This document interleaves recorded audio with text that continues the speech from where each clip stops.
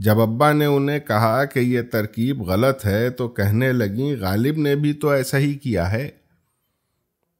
उनका ये जवाब सुनकर हम सब उनकी तरफ़ मुतवजा हो गए। हम सबको यकीन था कि अब कोई ना कोई पुरलुत्फ बात होने वाली है। उन्होंने गालिब का यह मिसरा पढ़ दिया। पर तवे खुर्स है शबनम को फना की तालीम। कहने लगी, तीन तीन हरूफ खा गए, आप एक हर्फ की पूछ रहे हैं। आखिरी खत के जवाब में। तुम्हारा ये ख़त आखिरी ही ख़त था, जिसके बाद मुद्दतों तुम्हारी कोई खबर नहीं मिली, और हम लोग भी ऐसी गर्दिश में मुब्तला रहे कि तुम्हारी खबरगिरी नहीं कर पाए। आज जो हम ये जवाब लिख रहे हैं, शायद ये भी आखिरी ही जवाब हो। तुम्हारा ख़त तो अपनी मंजिल पर पहुँच गया था। लेकिन हमारी ज़िंदगी में इस जवाब के तुम तक पहुँचने की उम्मीद कम है। हमारी मुश्किल ये है कि जवाब लिख तो रहे हैं, लेकिन किस पते पर भेजेंगे यही नहीं पता। तुमको उर्दू से शायद उतना शगफ भी ना हो कि तुम उर्दू की किताबें ख़रीदो और पढ़ो।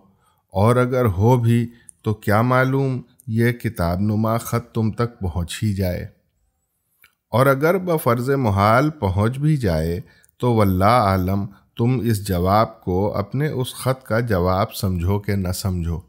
हमसे एक शागिर्द ने पूछा है कि आखिर हम ये ख़त लिख ही क्यों रहे हैं? तो हमारा जवाब ये है कि हम लोगों ने ज़बान की नज़ाकत और बयान के अंदाज ऐसे ही किस्से कहानियाँ सुनकर सीखे हैं। जो ज़बान हमने सीखी है, वो अब तो अनका है। इसलिए तहरीर किए दे रहे हैं कि जब आज का कोई उर्दू लिखने वाला पढ़े तो उसे मालूम हो कि ज़बान किस तरह बरती जाती है और शायद वो कुछ नज़ाकतें सीख भी जाए। बहरहाल, गोरखपुर में गर्दिश के वो अयाम किसी तरह कट गए। हमको याद है, वालदा शदीद अलील हो गई थीं, उन्हें दिल का दौरा पड़ा था। पैसे तो होते नहीं थे हमारी बहन एक कॉलेज में पढ़ाने लगी थी, जो थोड़ी बहुत रकम उन्होंने अपनी उस कलील आमदनी से पसंदाज करके रखी थी और कुछ रकम जो हमारे पास कारोबार की थी जमा की गई, लेकिन वो भी नाकाफ़ी थी। मामू को जब इत्तला हुई तो वो लखनऊ से गोरखपुर आए और बकिया अखराज उन्होंने उठाए। इस तरह अम्मा सेहत और सलामती के साथ घर वापस आईं। लेकिन मुश्किलें तो जहाँ थीं, वहीं खड़ी रहीं। भाईजान मेरठ में मुलाजिमत कर रहे थे। हमारा कारोबार चौपट हो चुका था। मामू की सिफारिश पर एक उर्दू के अखबार में लखनऊ में मुलाजमत मिल गई और हम गोरखपुर से लखनऊ हिजरत कर गए। फिर एक हिजरत, फिर एक नया शहर, नए लोग, नई पहचान बनाने की जिद्दोजहद। किताब हयात का एक नया बाब खुला था। लेकिन इस बार कोई उस्ताद नहीं था, जो इसके मुआमे हल करने में हमारी मदद करता। भाईजान मेरठ में थे और अम्मा गोरखपुर में। मामू लखनऊ में ज़रूर मौजूद थे, लेकिन उन दिनों जोश जवानी की वजह से हम खुद को ज़्यादा काबिल समझते थे। अगरचे उनकी इज़्ज़त और उनसे मोहब्बत में कोई कमी नहीं थी, इसके बावजूद इमदाद तलब करने में आर थी। इसे जवानी की ऐठन कह लो। अल्लाह उन्हें तवील हयात बख्शे और उनका साया हमारे सरों पर कायम रखे। वो एक जहाँ दीदा इंसान है। वो खूब समझते थे कि हमारी गैरत तलब इमदाद में माना है, लिहाजा उन्होंने भी इसका भरम कायम रखा। ज़िंदगी की इस तगोदौ में बहुत कुछ नया हुआ। कभी हंसे, कभी रोए, कभी वफूर गम से मुंजमिद से हो गए। नए दुख, दर्द और खुशियों ने पुराने ज़ख्मों की टीस भुला देने में मदद की। लेकिन तुम्हारी बेखबरी का गम दिल को कचोटता रहा। लेकिन हमारे पास इस दर्द की दवा हमेशा रही। दिल नाशाद को यूँ शाद किया, तुझको तन्हाइयों में याद किया। तुम्हारी याद का हर लम्हा आज भी लम्हे निशात ही है। तबीयत कितनी भी बुझी हो, अगर उस लम्हे में तुम्हारी कोई बात याद आ जाए तो सारा हुज्न जाता रहता है। वैसे याद माजी का ये ख़जाना जो डायरी की शक्ल में हमने तैयार किया है, ये भी कोई कम नहीं है। इसमें दर्ज एक किस्सा सुन लो। अब्बा की एक स्टूडेंट थी जिन्हें शायरी करने का शौक हुआ। उस ज़माने में अलामती शायरी का बड़ा चर्चा था। उन्होंने मिसरों को मौजू करने के लिए कई अल्फाज के या तो पहले या आखिरी के हरूफ हजफ कर दिए थे। जब अब्बा ने उन्हें कहा कि यह तरकीब गलत है तो कहने लगी, गालिब ने भी तो ऐसा ही किया है। उनका ये जवाब सुनकर हम सब उनकी तरफ़ मुतवजा हो गए। हम सबको यकीन था कि अब कोई ना कोई पुरलुत्फ बात होने वाली है। उनकी यह बात सुनकर अब्बा जेर लब मुस्कुराए और पूछा तो आपने गालिब के यहाँ कौन सी सनत देख ली? उन्होंने गालिब का यह मिसरा पढ़ दिया, पर तवे खुर्स है शबनम को फना की तालीम। अब्बा ने इस बात में सर हिलाया और पूछा, गालिब ने कहाँ पर हर्फ हजफ किया है? कहने लगी तीन तीन हरूफ खा गए। आप एक हर्फ की पूछ रहे हैं? हम सब उनका इशारा समझ चुके थे। उन्होंने जवाब दिया, खुर्शीद में से शीद सीधा उड़ा दिया है। अब्बा ने कहा, फिर तो अगर हम ये जुमला सिराज फाटक हैं दर खान फसाहत के, गालिब ज़ौक खड़े हैं दरबा की तरह, को यूँ पढ़ें के सिरज फटक हैं दर खान फसाहत के। गलिब वज़ौक खड़े हैं दरर रबा की तरह। तो आपकी दलील के मुताबिक ये शेर दुरुस्त हो गया। अब्बा की ये दलील सुनकर हम लोग खूब हंसे। इस वाक़े के बाद हम बहुत दिनों तक अपने तारुफ में यही शेर पढ़ते रहे। इसी डायरी में एक मज़ीद लतीफ़ा भी दर्ज है, ये भी सुन लो। वाक़ कुछ यूँ है कि एक ज़मीरुद्दीन साहब थे, जिनकी किताबों की दुकान थी। कुछ दिनों से कारोबार लड़खड़ाया हुआ था। उन्हें किसी ने मशवरा दिया कि दुकान पर मीलाद करवाएँ, ताकि कुछ लोग जमा हों। इसके अलावा अल्लाह रसूल की बातों में बरकत भी होती है। क्या मालूम रोज़ी का फरिश्ता मीलाद ही सुनने के बहाने आ जाए। और जो रास्ता भूल गया है, उसे फिर याद आ जाए। ज़मीरुद्दीन साहब को बात माकूल लगी। उन्होंने मीलाद का अहतमाम किया। मीलाद की तारीख पक्की हो गई। मौलाना से वक्त तय कर लिया गया। शीरनी और पुलाव वगैरह का भी उन्होंने माकूल अहतमाम किया था, ताकि आने वाले मेहमानों को अल्लाह की राह में खाना खिलाएँ। वो बहुत खुश भी थे और पुरुद भी। मीलाद से एक रोज़ कबल किसी ने उनकी दुकान का जंगालूद बोर्ड देख कर मशवरा दिया कि जहाँ इतना खर्च कर रहे हैं, एक नया बोर्ड भी इसी खर्च में बनवा लें और उस पर वल्लाह खैरुर्राजकीन लिखवा लें। उन्हें ये तजवीज़ बहुत पसंद आई। उन दिनों कंप्यूटर का ज़माना नहीं था कि साइन बोर्ड हाथ से लिखे जाते थे। लिहाजा वो मोहल्ले के एक पेंटर के पास पहुँचे और उससे एक बोर्ड बना देने की दरख्वास्त की और कहा कि बोर्ड लिखकर कल शाम तक दुकान पर टांग दे।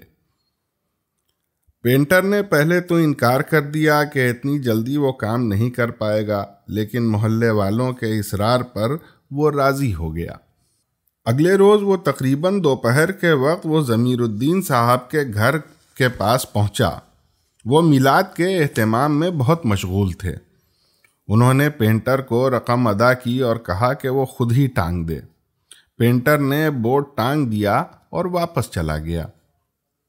बाद मगरिब मिलाद थी। ज़मीरुद्दीन साहब मगरिब से पहले टेंट वाले को लेकर जब दुकान के सामने पहुँचे तो बोर्ड देखकर चरागपा हो गए। गला फाड़ फाड़ कर गालियाँ बकना शुरू कर दी। एक लड़के को पेंटर की दुकान की तरफ़ दौड़ाया और कहा कि वो जिस हालत में हो, उसी हालत में उसे खींचते हुए लाना। पेंटर जब ज़मीरुद्दीन साहब की दुकान पर पहुँचा तो उन्होंने उसे दो तीन मोटी मोटी गालियाँ सुनाते हुए कहा यह क्या लिखा है तूने? पेंटर ने जवाब दिया, देखो, गाली ना बको तुमने जो लिख कर दिया था, वही लिखा है। और अगर कोई छोटी मोटी गलती हो गई है तो उसमें इतना चिल्लाने की क्या बात है? कल ठीक कर देंगे। पहले ही कहा था कि इतनी जल्दी में काम खराब हो जाता है। गुस्से के मारे जमीरुद्दीन साहब के मुँह से कफ आने लगा। उन्होंने पेंटर का कॉलर पकड़कर बोर्ड की तरफ़ इशारा करते हुए कहा, क्या हमने तुझे यही लिख कर दिया था? पेंटर ने जवाब दिया हाँ बिल्कुल यही दिया था। जमीरुद्दीन साहब ने उसे दो करारे चांटे रसीद किए और कहा, हमने लिखा था जमीरुद्दीन कुतुब फरोश और तूने कुतुबुद्दीन ज़मीर फरोश लिख दिया है, अंधे की औलाद। हकीकत यह है कि बचपन में हम लोगों के पास बहुत ज़्यादा खेलने के खिलौने नहीं होते थे। हम लोगों की तमाम तर तफरी का सामान या तो किताबें होती थीं या घर में रूनुमा होने वाले लतीफ़े। चूँकि अब्बा का पेशा तालीम था, इसलिए आम तौर पर उनकी निगहदाश्त में ख़ानदान के नौजवान भेज दिए जाते थे। वो लोग घर पर ही रहते थे और अपनी तालीम मुकम्मल करते थे। कोई चचा थे तो कोई मामू। उनमें एक चचा थे जो हम लोगों के यहाँ रहकर पढ़ाई कर रहे थे। उनका उर्दू फारसी से दूर दूर तक कोई ताल्लुक़ नहीं था। इसके अलावा वो साइंस के तालब इल्म भी थे। गालिबा वो मास्टर्स के आखिरी बरस में थे कि उनका रिश्ता एक आला ख़ानदान में तय हो गया।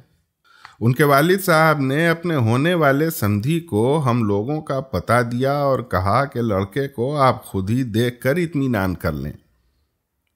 उनके खुसरे मुज़म नहायत वज़ादार इंसान थे, बहुत उम्दा उर्दू बोलते थे और बेहद नफीस और नर्म गुफ्तार इंसान थे।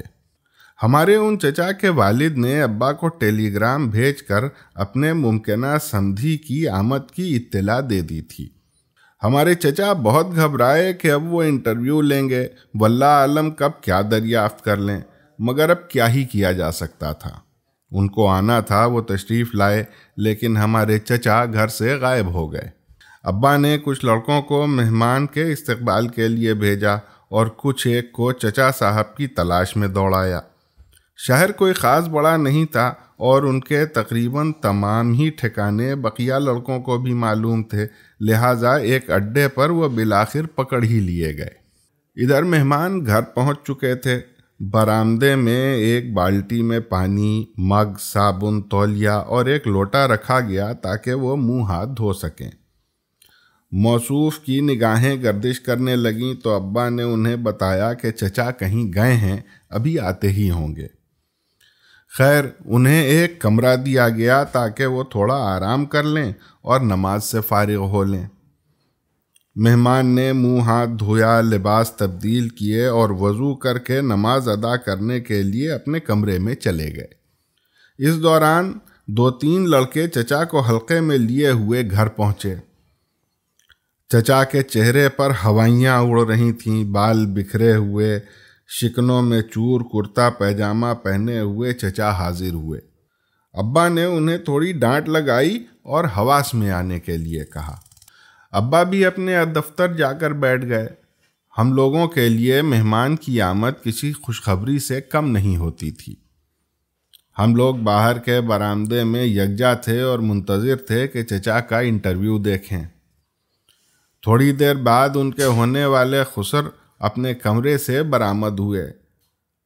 छरेरे बदन पर कलीदार कुर्ता, आस्तीनों पर गेला किया हुआ, दाढ़ी सलीके से बराबर की हुई, इत्र की भीनी भीनी खुशबू में लिपटे हुए, मुस्कुराते हुए बरामदे में रखी एक कुर्सी पर जलवा अफरोज हो गए। अभी वो बैठे भी नहीं थे कि दूसरे कमरे से चचा नमूदार हुए, बाल अच्छे से कंघी किए हुए साफ़ शफाफ चेकदार शर्ट, बेल बॉटम और चमचमाते हुए जूते। चचा, खूबसूरत तो थे ही, आज बड़े हैंडसम भी लग रहे थे। उन्हें कतई ये अंदाज़ा नहीं था कि वो जैसे ही कमरे से निकलेंगे, उनके होने वाले खुसर उनसे टकराएँगे। लेकिन हुआ कुछ ऐसा ही, और वो हड़बड़ा गए। चचा ने जल्दी से उन्हें झुककर सलाम किया और खामोशी से हाथ बांधकर खड़े हो गए।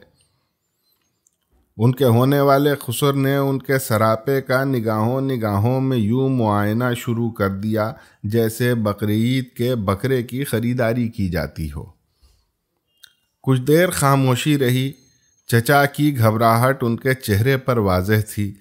गुफ्तगु का बहाना निकालने के लिए खुसर साहब ने गला साफ़ करते हुए दरियाफ्त किया। साहबजादे बैतुलखला कहाँ है? चचा ने आँखें फाड़ कर पूछा जी? उन्होंने फिर से अपना सवाल दोहराया। मैं पूछ रहा हूँ, बैतुल खला कहाँ है? इस सवाल पर चचा ने अपनी खोपड़ी खुजाना शुरू कर दी। उनके खुसर ने हैरत से पूछा, क्या आप यहाँ नहीं रहते? चचा ने जवाब दिया, नहीं नहीं हुजूर, हम तो यहीं रहते हैं। खुसर साहब ने कहा, फिर आपको यह नहीं मालूम कि बैतुल खला कहाँ है?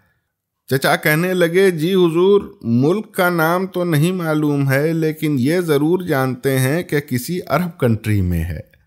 खुसर साहब के मुँह से बेसाख्ता निकला हाँ चचा आप समझ चुके थे कि उन्होंने कुछ गलत जवाब दे दिया है। उन्होंने बग़ैर वक्त ज़ाया किए हुए खुसर साहब से इजाज़त तलब की और नौ दो ग्यारह हो गए। अभी खुसर मुअज़्ज़म कुछ सोच पाते, इससे कबल अब्बा आ गए। उन्होंने नहायत खफगी का इजहार करते हुए कहा, नहायत बेहुदा लौंडा है।